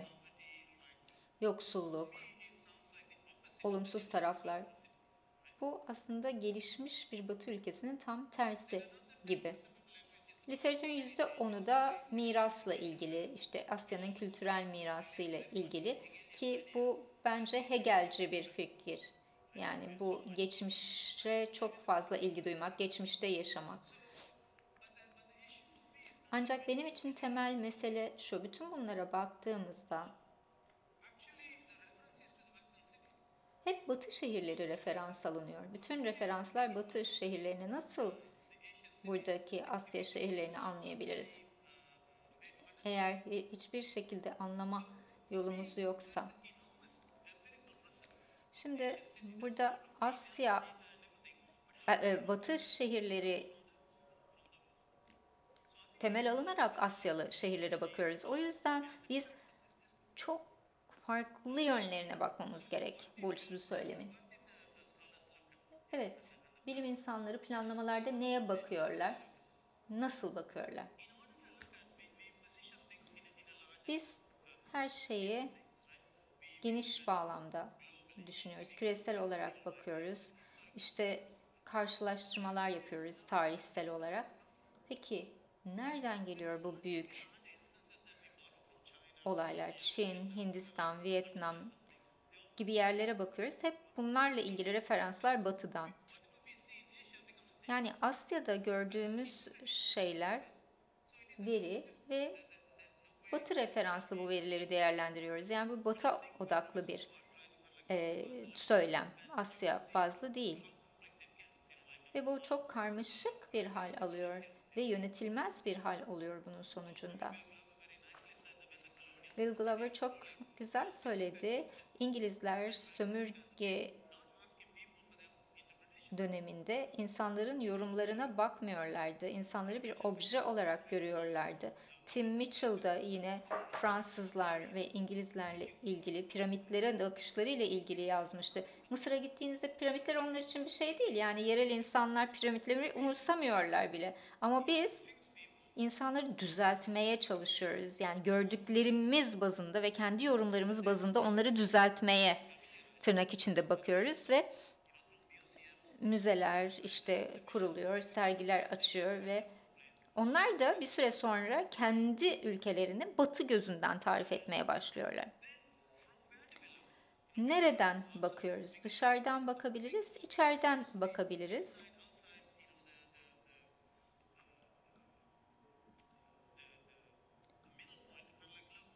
Ve dışarı bakabiliriz. Yani bu şekilde 360 derece bakmamız gerekir anlayabilmek için. En önemli nokta şu, insanları anlamamız lazım. Çünkü insanlar yaratıyor bu mekanları en nihayetinde.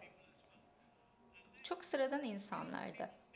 Ve insanların özel hikayelerini anlamamız gerekiyor. Çünkü McDonald's bile. McDonald's küreselleşme sembolü bir yer. Delhi'ye gittiğiniz zaman bu çok saçma çünkü Delhi'de McDonald's'ta helal yiyecekler satılıyor. Ve dolayısıyla aynı McDonald's değil.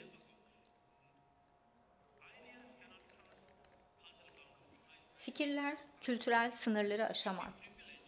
O yüzden siz burada batı düşüncesine dayalı bir biçimde formüle ederseniz her şeyi sonuç farklı olur ama kültüre dikkat ederseniz bu bölgelerde o zaman gerçekten bir şeylerin farklılaşmaya başladığını görürsünüz. Ben Asya'daki yorumları görmek istiyorum ama bunları nerede bulabileceğimi bilemiyorum.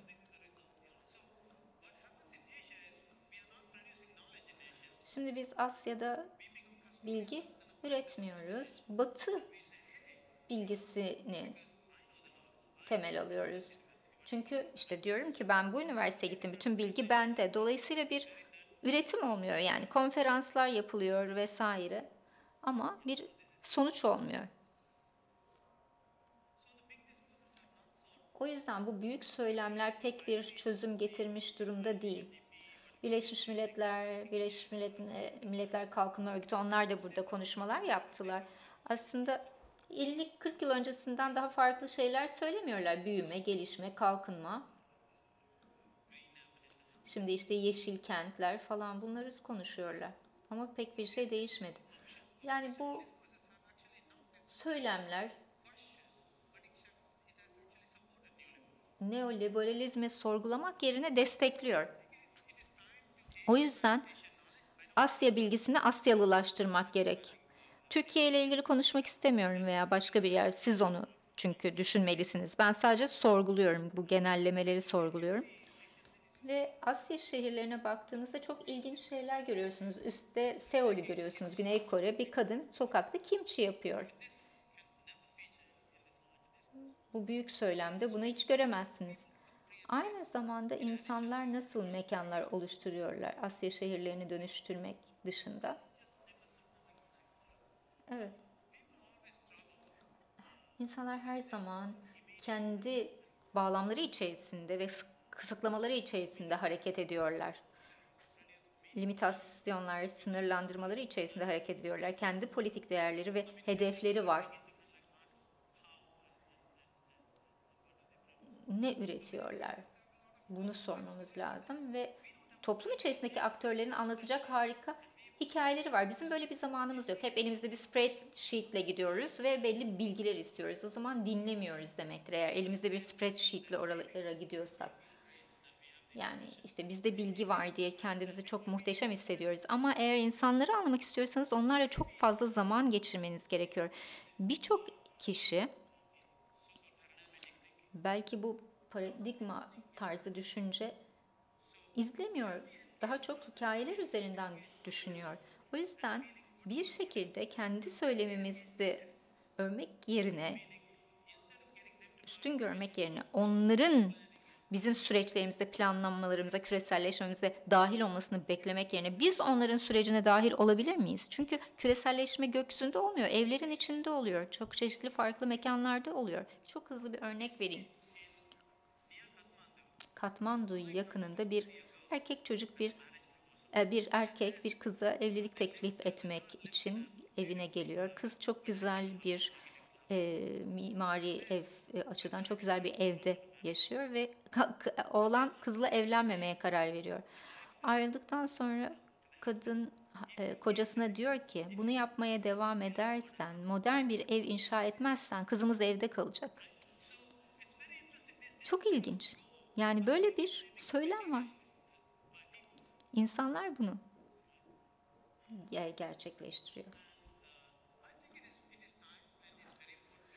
Dolayısıyla burada bu ana akım söylemleri anlamak çok önemli ve biz her şeyi tam olarak anlamıyor olabiliriz. Bunu da anlamak lazım. Yani bizim söylemimizdeki öznelerin de söylemini görmek lazım. İnsanlar dönüşüyor. Asya şehirlerini dönüştürüyor. Her türlü farklı şehirde bu dönüşümü, farklı mekanlarda dönüşümler yaşanıyor. Onları takip edebiliyor muyuz? Yani takip etmek derken takip etmek bizi aşağı çekmez. Gustav Westava da bunu söylemişti. Neden bir devrim peşindeyiz? Zaten devrim devam ediyor. Biz bunu anlayıp bunun bir parçası olmaya çalışmalıyız.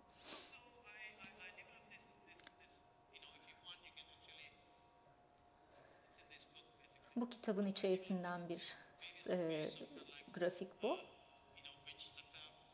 Lefebvre buna soyut mekanla yaşanan mekan arasındaki etkileşim diyor. İnsanlar bu e, mekanlarda ne şekillerde yaşıyorlar ve ne şekilde etkileşimdeler. En ilginç olan noktalardan bir tanesi şu. Mekan üretimi devletten, tepeden geliyor. Politikadan, ekonomiden, politik ekonomiden geliyor. Ama direnç kültürden geliyor. Eğer bunu bilmiyorsak o zaman birçok şeyi kaçırabiliriz. Mekanları nasıl işlediğini anlamayı güçleştirir e, bunu anlam anlamamak. Birçok mekan var bu slaytta. Çok vaktim olmadığı için hızlıca geçeyim. Bir takım şehirler var daha geniş anlamda kapsayıcı şehirlerden söz eden. Yani burada dışarıdan ve tepeden bakarsak bu kapsayıcılığı anlamamız mümkün olmaz. Joseph Allen Tayvan'daki Taipei'den söz ediyor. Her yerin bir tarihi vardır. Değişimler hikayesi vardır. Üretim ve inşaat katmanları vardır. Bu geçtiğimiz 10 yıllara, 100 yıllara kadar gider ve mevcut durumu besler. Burada çok farklı boyutlar var. Yani tek bir boyut değil.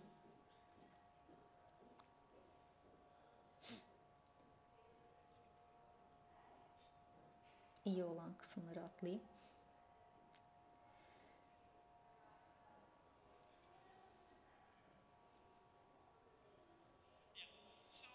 Evet. Yani şehir yönetiminden çok söz ediyoruz. Benim araştırmam hükümet merkezli değil, başkent merkezli değil. Eleştirdiğimizde de yine aynı şeyi yapıyoruz. Merkezi güçlendirmiş oluyoruz. Onlara güç katmış oluyoruz bu güçlere.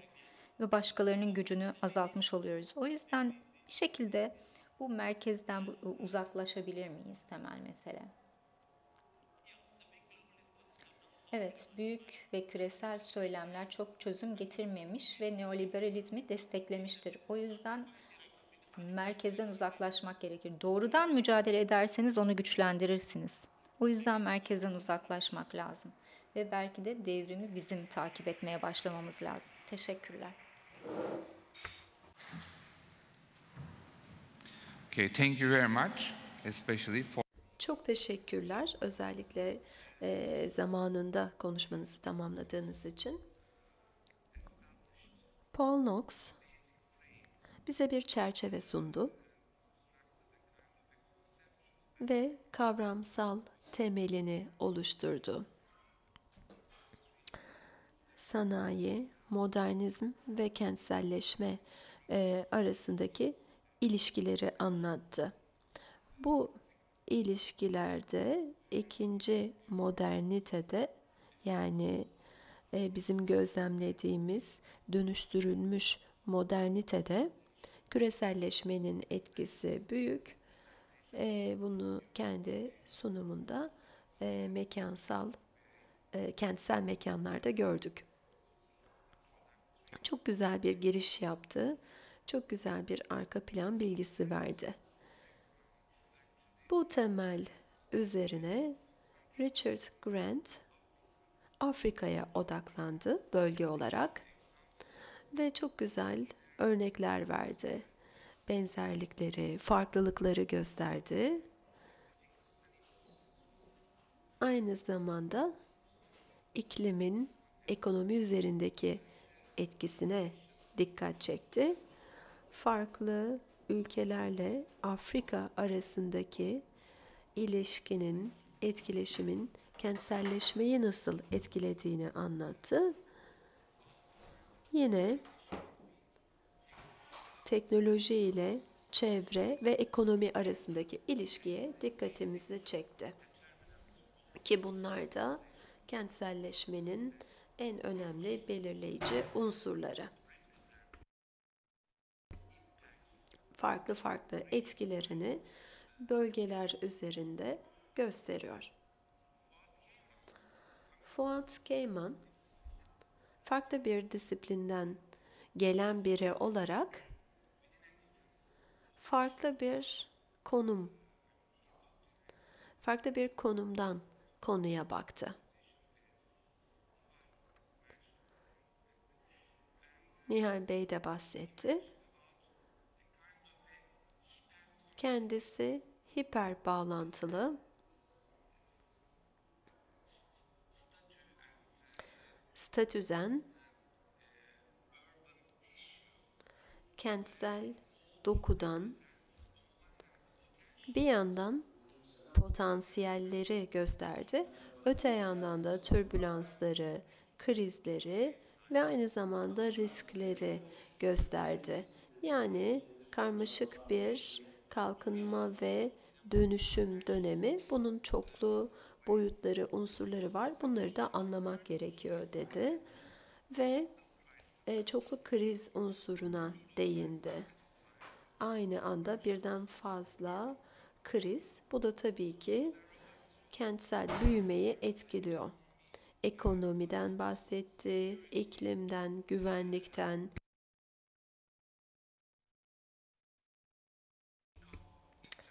gelir adaletsizliğinden yani farklı alanlarda görülen krizlerden aynı anda farklı alanlarda görülen krizler bunlar şehirleri etkiliyor. Bir konsept bizim için gerçekten e, eşsiz. Çünkü sadece kentlerden bahsetmedi, aynı zamanda bölgesel etkiden bahsetti.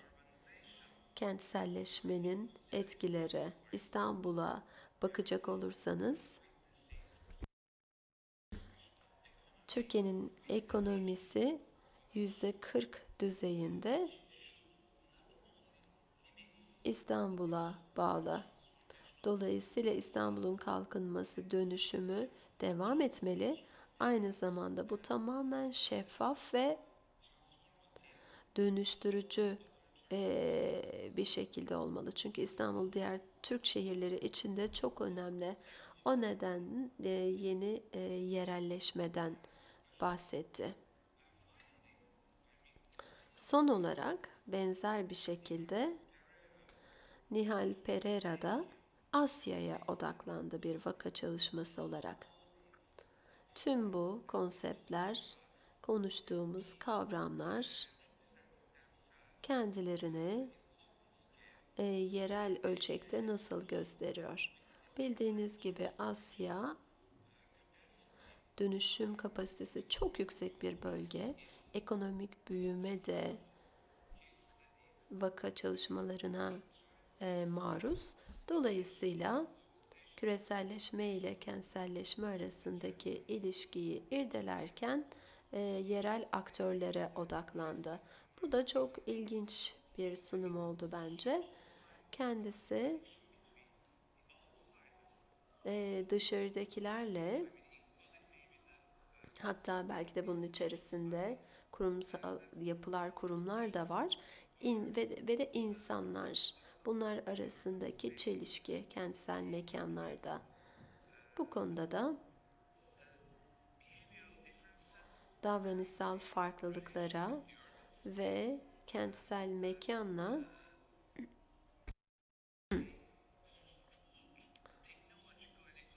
teknolojik ve ekonomik kalkınmalar arasındaki ilişkiye baktı. Bu kentselleşmeyi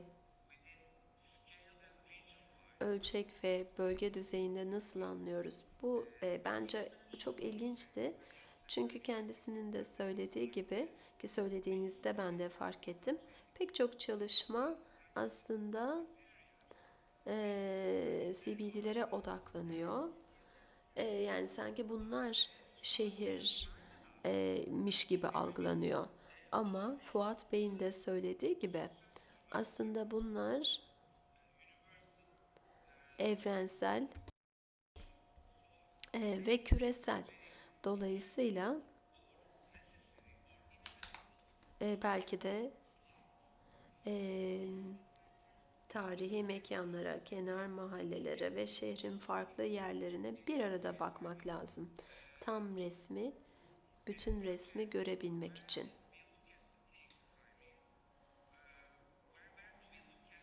Nereye bakıyoruz? Nereden bakıyoruz? Bu çok çok önemli. Bu paneldeki tüm konuşmalar sanırım birbirini tamamladı ve bu sayede tüm resmi görebildik. Tüm panelistlerimize, konuşmacılarımıza ben tekrar teşekkür etmek istiyorum. Birkaç dakikamız var katkılar ve sorular için.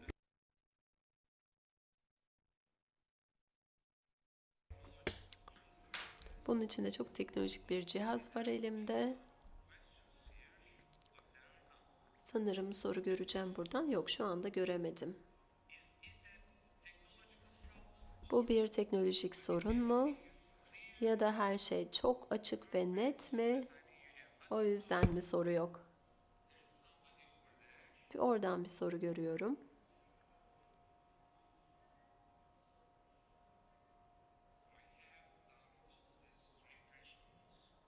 Sayfayı yeniledim ama göremiyorum ben.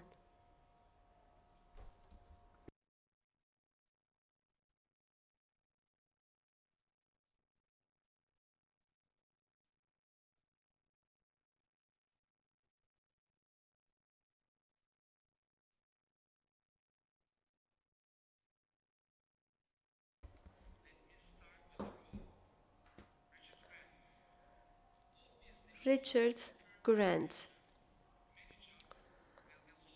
Dördüncü e,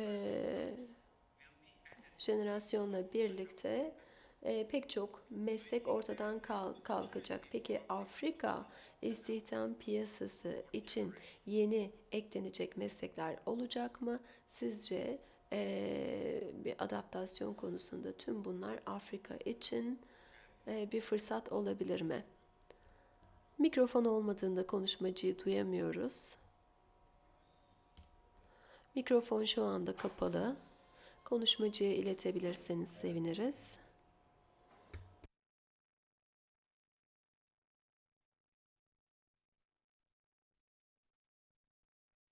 Teşekkürler. Tabii ki işler, meslekler konusunda eee, umutlu olmak zorundayız. Ama bir de kayıt dışı sektörde çalışan insanlar var. Bu eee, olamayacak. Bu eee, çok ciddi bir konu. Eee, işte Yeni Zelanda'dan Miami'ye kivi getirilmesi mesela ya da Çin'de bir şeylerin üretilip Afrika'da tekstilin hiç olmaması aslında normal şeyler değil. Çok önemli değişiklikler olacak diye düşünüyorum. Afrika'daki ekonomi, Afrika'daki kentler kendileri için bir şeyler yapıyorlar.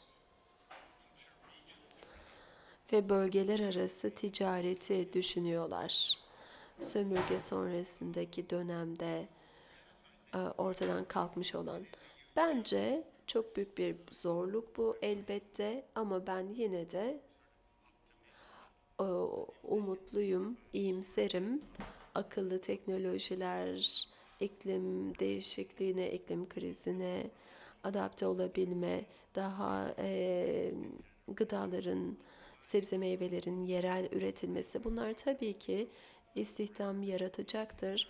Ama Endonezya'dan, Türkiye'den e, insanların e, farklı yerlerde çalışması bu konuda değişiklikler yaşanacak diye düşünüyorum. Zamanımız çok çok az ama çok ilginç sorular görüyorum. Bunları yönlendireceğim. Ama belki de sadece tek cümleyle cevap verebilirseniz çok iyi olur. Sayın Pereira, yaklaşık 1 milyar insan e, gece kondularda yaşıyorlar ve e, hikayelerini e, çok güzel anlatamıyorlar. Buradaki söylem nasıl değişebilir? 15 saniyede cevap verebilirsiniz diye düşünüyorum. Bence zaten zorluk da bu. Bence bu her şeyden önce söylem meselesi. Bu insanlar gece kondularda mı yaşıyor, evlerde mi yaşıyor? Evlerini nasıl inşa edebilirler? Bu sorun nasıl çözülebilir? Ee, gece kondunun e, kendisi aslında bir e, sorun değil, çözüm. Dolayısıyla e, bizim değişmemiz lazım, onların değil. Buradan başlamamız lazım. Tabii ki bu bir söylem konusu. E, peki ne yapmak lazım? Tabii ki benim e, sihirli bir çözümüm, cevabım yok. Ama e, ABD'den e, ülkemize gelen öğrenciler oluyor. O öğrencilere sorduğumda gerçekten ihtiyaç olumlu temsiliyet. Belki onlarla ilgili yazılar yazmamız gerekiyor. Gazeteler. E, gazetelerde tabii ki e, bir şeylerle övünmeyi sevi, e, seviyor. İşte Amerikalılar gidip orada tuvalet kağıdı vesaire dağıtıyorlar. Ama öğrencilerimiz gerçekten endişeli. Ve e, fakülte üyelerimizden biri şöyle söyledi. E, Nihal aslında e, en azından görünürlük kazanıyoruz. Yani bir şey vermiyor artık Amerikalılar ama bence e, bunu e, söylemi değiştirmeliyiz. Sayın Keyman, şunu söyleyebilir miyiz? E, Şehir bölgeler belli bir sinerji ve fırsatları kent için beraberinde getirebilir ama aynı zamanda çevredeki şehirler için kalkınma sorunlarını da beraberinde getirebilir mi? Evet, aslında biz önerimizde bunu sunduk. Şehir bölgeler çok aslında yararlı. Sadece bu kentlerin analiz edilmesi anlamında değil, Türkiye'yi analiz etmek anlamında yararlı. Türkiye'nin geleceği de zaten demokratik bir şekilde bu şehir bölgelerin yönetimine bağlı. İkinci olarak bu konu sadece ekonomiyle de alakalı değil. Bu aynı zamanda insan hakları, insanlarla da ilgili 4 milyon Suriyeli mülteci Türkiye'de yaşamakta. Ama bu Suriyeliler nerede? Buna baktığımızda e, genelde 12-13 kentte yoğun, yoğunlaştıklarını görüyoruz. Ama bizim 82 tane şehrimiz var aslında. Dolayısıyla bu e, merkezi olarak çözülebilecek bir sorun değil. O kentler zaten yönetişim anlamında Suriyelilerle, mültecilerle birlikte yaşama anlamında sorunlarını çözmeye çalışıyorlar. O yüzden küreselleşme kentleşiyor. Türkiye kentleşiyor. Türkiye küreselleşmenin büyük bir parçası. O yüzden kenti iyi, katılımcı, demokratik bir şekilde yönetmek hangi yönde Türkiye ilerleyecek, Türkiye'nin kapasitesi ne olacak bunu belirleyecek. Çok teşekkürler. Son soruyu Sayın Knox'a soracağız. Dayanıklılık. Dayanıklılık daha e, konservatif sağ kanat görüşümü sürdürülebilirlikle karşılaştırıldığında ki bu ilerleyici bir yaklaşım olarak düşünülüyor. Neden dayanıklılık sürdürülebilirlikten daha e, fazla ilgi görüyor? Birbiriyle alakalı kavramlar ama bu soruyu aslında ben de e, merak ediyordum.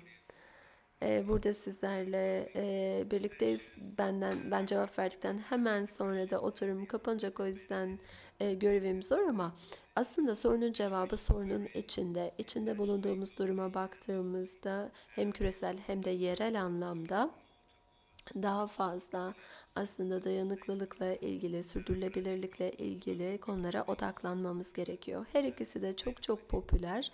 Sürdürülebilirlik zaten uzun süredir popülerdi. Ee, ama birazcık içi boş bırakılıyordu. Yani e, her şey bir şekilde sürdürülebilirlikle açıklanıyordu. Ondan sonra da kavramların içi boşalıyor. Doğru. Mimarlık anlamında sürdürülebilirlik yeni bir konu değil aslında. Bu zaten mimarlığın doğasında var. O yüzden ben de katılıyorum. Farklı konseptlere, farklı kavramlara ihtiyacımız var. Kavramlar arasındaki farkları anlayabilmek için. Tüm katılımcılarımıza, sizlere çok teşekkür ediyorum. Sabırla dinlediniz. Başka sorular da var. Ee, belki de sonra kişisel olarak sorabilirsiniz. Çok teşekkürler bizimle olduğunuz için. Şimdi ne yapıyoruz? Şimdi kapanış paneline katılıyoruz. Çok teşekkürler.